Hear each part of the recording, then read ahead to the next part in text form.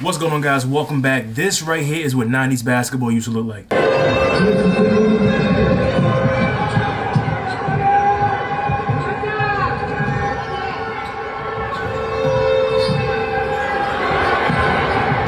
right here makes no sense. Isaiah Thomas, Dennis Rodman, all of Detroit Piston bad boys versus Michael Jordan. Now I understand what my coach meant by fight for the basketball. This right here is out of control. Make sure you guys leave a comment down below. Like, share, subscribe. Until next time, guys, I'm out.